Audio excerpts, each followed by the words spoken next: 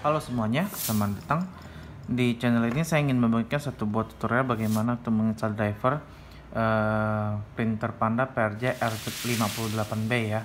Nah di sini saya sudah memasang baterainya, ya. Kita nyalakan.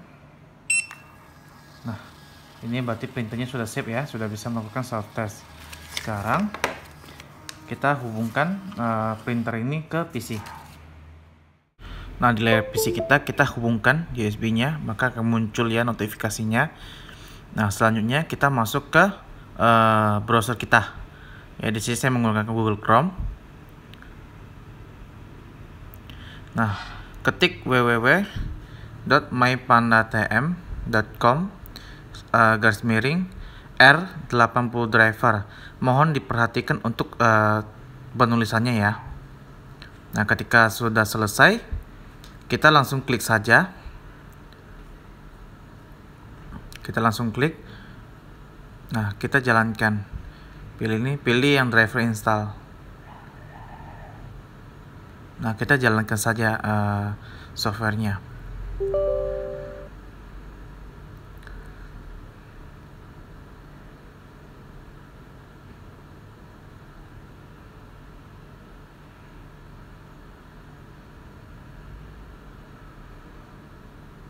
Nah, kita pilih yang portable printer ya.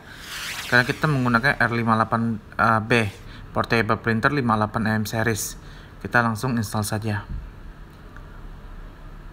Sudah terinstall. Finish. Kita langsung masuk ke device and printer uh, lagi.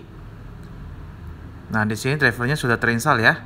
58mm series printer Nah, kita cocokkan dulu portnya di sini uh, menggunakan COM8. Jadi kita harus ganti ganti juga ke COM8.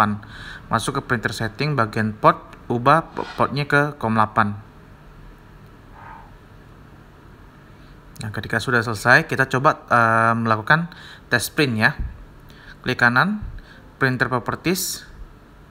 Nah, di sini kita melakukan uh, apa? Test print dari Windows.